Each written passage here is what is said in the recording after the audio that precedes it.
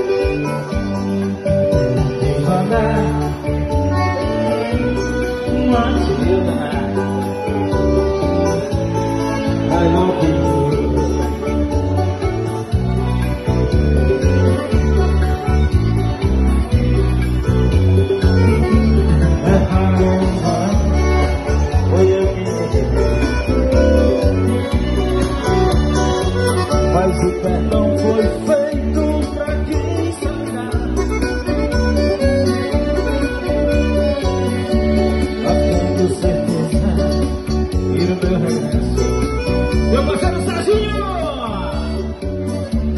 Um grande amor